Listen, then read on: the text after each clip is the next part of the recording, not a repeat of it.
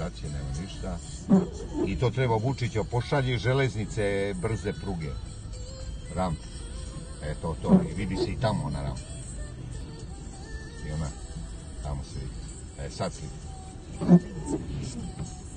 A?